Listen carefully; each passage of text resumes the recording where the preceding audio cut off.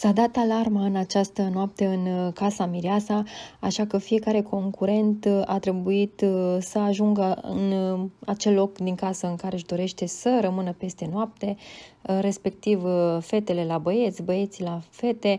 Ca de obicei, în fiecare sezon s-a întâmplat acest task și au avut un timp limitat în care să facă acest lucru, așa că pe unii au luat total prin surprindere și nu au apucat să se dezmeticească, să vadă ce se întâmplă și să meargă acolo unde și-au dorit. Prin urmare, în casa băieților au ajuns uh, Cristina și Laura, care evident au cuplu și și-au dorit uh, să meargă acolo la partenerii lor.